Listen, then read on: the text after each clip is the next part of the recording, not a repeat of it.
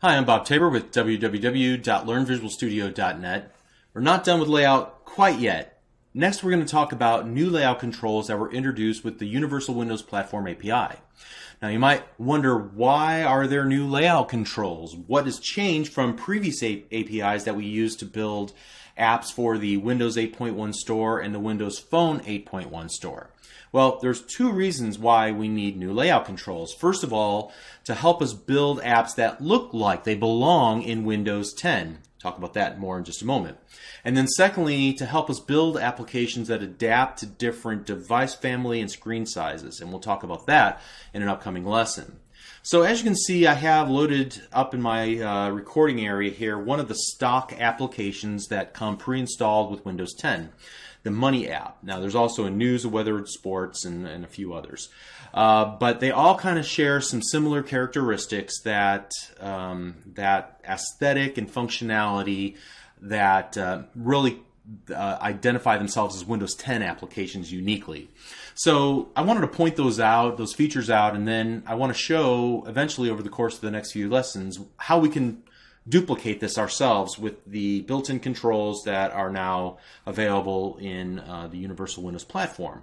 So when I talk about the Chrome, I'm talking about the top area and the leftmost area here that provides navigation and other services to your application.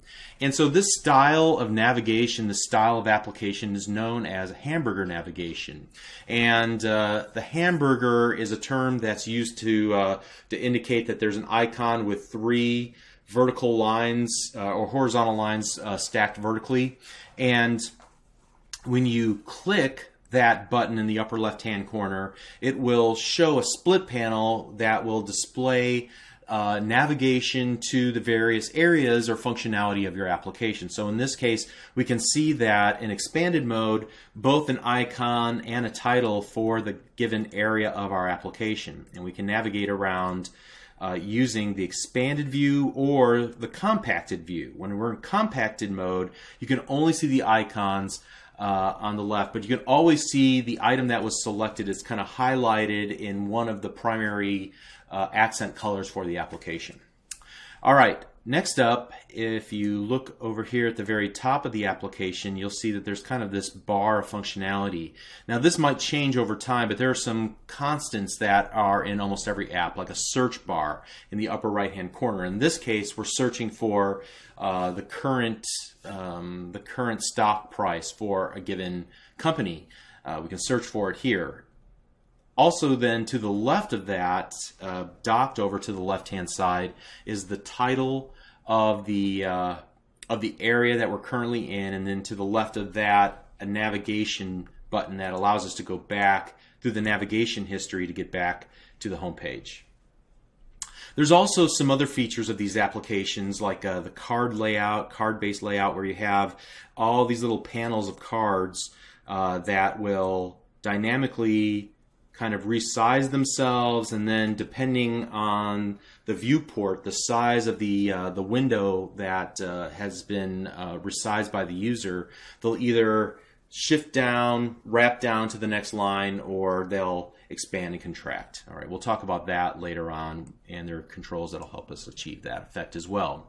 All right, so let me shut this down, and the next thing that I want to do is talk about two layout controls that'll help us achieve the effect that we saw there. The relative panel is the first one, and it's a control, a layout container that is useful for creating user interfaces that don't have a clear linear pattern. And when I say linear pattern, what I mean is that it's for layouts that are not fundamentally stacked or wrapped like that card layout or even tabular like in a grid. So these are layouts that you may not find as easy to reproduce using a stack panel or a grid.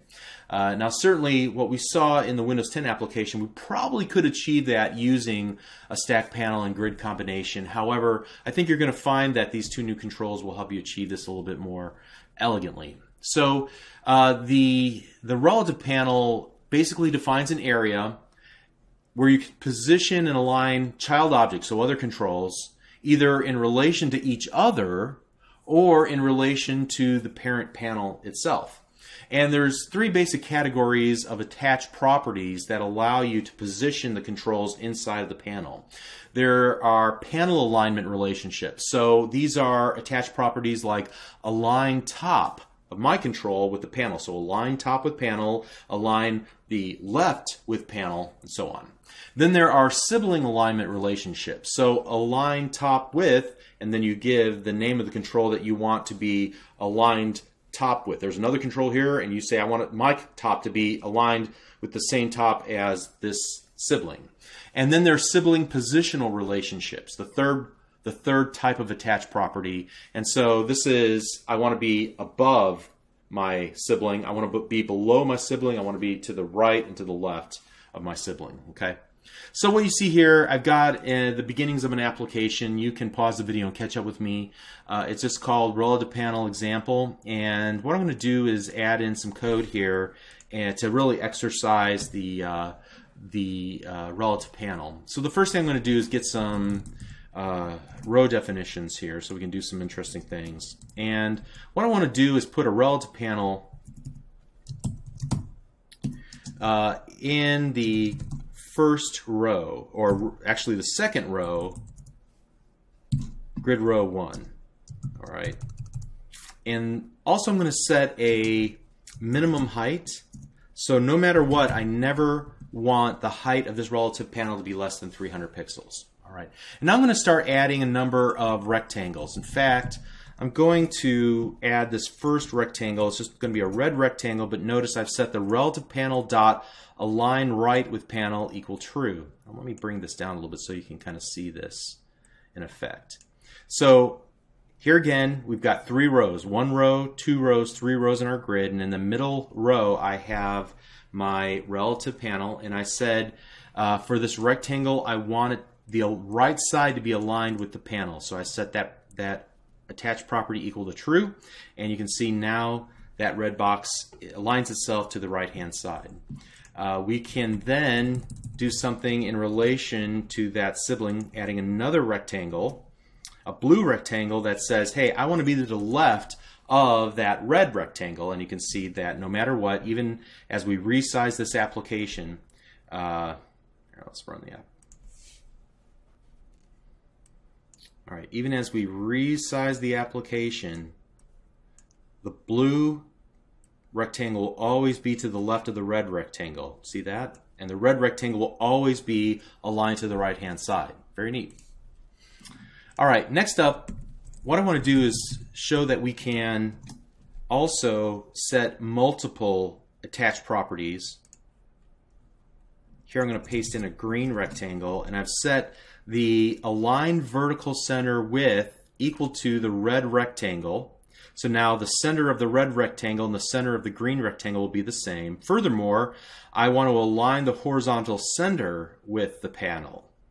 So show me where the center is of the uh, of the horizontal size of the app, and I want to be right there in the middle. So now let's see what effect that achieves. We'll see how running the app with different screen sizes or by resizing the app, we're always going to have that green rectangle with its center aligned vertically to the red rectangle and its horizontal uh, alignment center to the center of the application. Cool. And just to kind of speed up this process, I'm going to paste in two more here at the same time. A yellow and a purple rectangle to look at the properties there. So let's uh, view the yellow rectangle, you can see that we set the minimum width to 50 and the minimum height to 50. And why this is important is because we want to align the bottom of our rectangle with the bottom of the panel and we want to align the top with the purple rectangle. And so the purple rectangle is above it uh, and it's defined here where we're setting the uh, we want it to be positioned below the red rectangle. We want it to be uh, the right of it aligned with the right of the red rectangle, and we want the left aligned with the green rectangle. So now we're we're going to, as we reposition, the actual size of the control will change. So let's go ahead and run it. In both these cases, you'll see that by resizing, and we will get a larger, whether in width or height, a larger uh, rectangle. Okay, you see that how the yellow rectangle grows and how the purple rectangle grows, okay? So this is why you can do some interesting positional things with the relative panel because you can set things relative to other controls or relative to the panel itself and things can automatically resize themselves. All right, so so what to all this? Why is this important? Well, the reason is because, and let me just save this, and let's take a look at another project that I currently have open and this will be the search bar. So relative panel search bar, you can load it up. Uh, it's available uh, wherever you downloaded the code or the the uh, the video for this uh, for this lesson. And we see the beginnings of a Windows 10 application where we have a search bar over here on the right hand side and we got to clean it up some. It doesn't look finished yet, but you can see how no matter what, over on the left hand side, or the right hand side rather, we have it always docked to the right, and we have the title to the left. Furthermore, I wanted to show that we can create a little status bar that's always docked to the bottom here. Furthermore, the uh, depending on the information, uh, it's either aligned to the left, aligned to the right, or aligned center. So let's see how we achieve this effect in our XAML. Let's open up our main page.xaml and then get rid of this output window. All right, so we have three rows. Uh, the top and the bottom rows are auto, so just take up enough room, just what you need, and then the middle area will be uh, star sizing, and so we didn't do anything in there. So the first item that we created was a relative panel that sat in that top row. And you can see that we have that button and that text box. The search button will be aligned right with the panel, so it's on the rightmost side. And then we say to the search text box, align yourself with the left of that search button so that you'll always be to the left of that search button no matter what. And we do the same thing with the uh, the text itself that's next to it that has the word search. It's just a text block and it has its left positioned to the left of the search text box. Then you can see that the other text block is just aligned to the left hand side with, because we didn't tell it relative of anything. It just defaults to the uh, to the upper left hand corner. All right, next up, uh, you can see that we have at the very bottom here that status bar, and I used an object called a border, and a border just creates a little layout control that provides us the ability to style the background color and the stroke around that background color. So we're just putting our relative panel inside of this border and the border all it does is going to give us some color and then we're going to do our work inside of the stack panel itself. And so this, there's three sections of that stack to that relative panel. The relative panel uh, on the left hand side will just contain the number of items, like maybe items that need to be addressed. And so it uses all the positional attached uh, properties that you would expect, align left with panel, and then the next item, the next text block, uh, align yourself to the right of that first text block. So that's the left hand side. The right hand side works the same way except uh, to the opposite. And then the third case, I actually create a stack panel because uh, if you were to set one of the align horizontal center with panel, if you were to set one of the text blocks equal uh, with that setting, then it will be in the absolute center, and anything else that you need to the left of it or to the right of it would then be off center, and it wouldn't look quite right. So you put them all in a stack panel, and you can make sure that the stack panel is centered no matter what its width is, and then you can put whatever you want inside of there and know that it's going to always be centered. All right. So the last thing that I would say about the relative panel is that uh, you could potentially get yourself in a little trouble uh, by creating, you know, a circular reference. I want you to the left of uh, number one to the left of number two, number three to the left of number two, number four to the left of number three, number one to the left of number four. Okay, uh, so obviously uh, you can set multiple relationships that target the same edge of the element.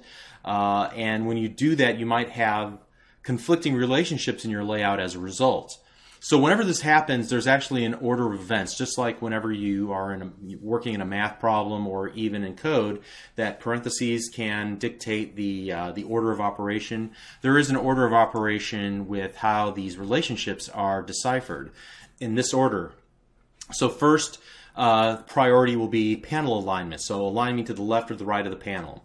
Then the second one will be sibling alignment relationships. So put me to the with align me to, with the top of this control, align me with the left of that control. And then the third and the lowest priority would be sibling positional relationships. Set me above this control, below this control, to the left of this control. Okay? Uh, so, any rate, we're going to utilize the relative panel several times in the remainder of the series. It's a valuable tool to elegantly, simply align items relative of either the panel or other controls on our form. And we'll need that when building Windows 10 apps. All right, let's continue on uh, and talk about the other layout control that's new to the Universal Windows Platform API. We'll see you there. Thanks.